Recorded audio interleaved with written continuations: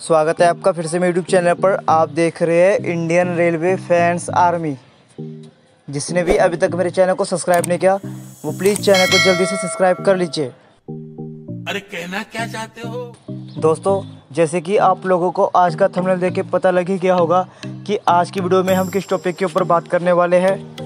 दोस्तों आज की वीडियो में हम आप लोगों को बताएँगे दिल्ली के नए लोहे पुल की कहानी। साथ में आप लोगों को बताएँगे कि क्यों सलीमगढ़ किले से मोड़ दिया रेलवे का फुलादी पुल? दोस्तों, बहुत इंटरेस्टिंग होने वाली है ये कहानी।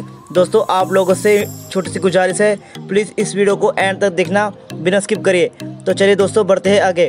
यमुना नदी पर बने एक सौ छप्पन साल पुराने लोहे के पुल के ठीक बराबर में नया लोहे का पुल इस साल सितंबर तक तैयार हो सकता है। पुराना पुल 12 फाउंडेशन पिलर्स पर खड़ा हुआ है, जबकि नए पुल के लिए 15 फाउंडेशन पिलर्स बनाए गए हैं। इनमें से 11 पिलर्स पूरी तरह से बनकर तैयार हो गए हैं। इतना ही नहीं, नौवे पिलर्स तक गार्डर बिछाने का काम भी पूरा हो गया है।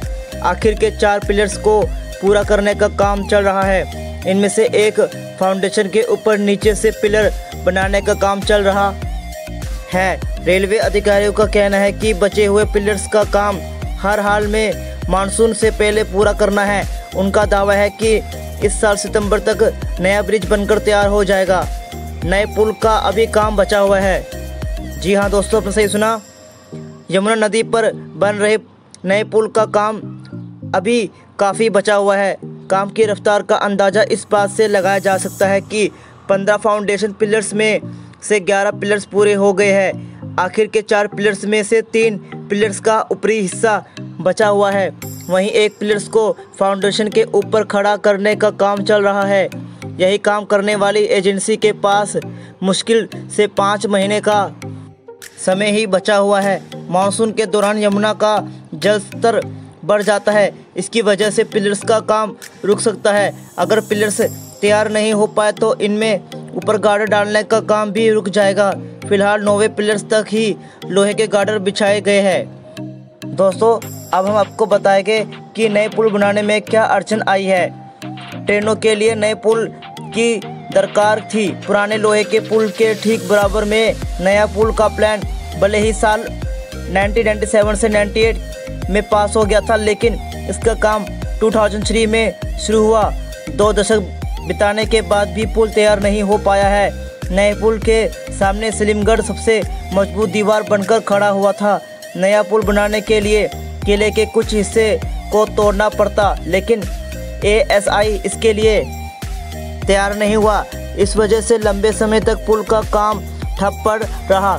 सलीमगढ़ किले को बचाने के लिए नए पुल को हल्का कर्व दिया गया। इसी वजह से इसमें पिलर्स की संख्या भी बढ़ानी पड़ी। आखिर के कुछ पिलर्स बहुत कम दूरी पर बनाने, बनाए गए हैं, जबकि बाकी सभी पिलर्स इकसठ मीटर की दूरी पर है। पुल को मोड़ने के लिए आखिर में एक बॉक्स भी बनाना पड़ा। पुल से आगे करीब एक किलोमीटर तक बिछेगा ट्रैक। यमुना पार करने के बाद नई रेलवे लाइन भी बिछाई जानी है।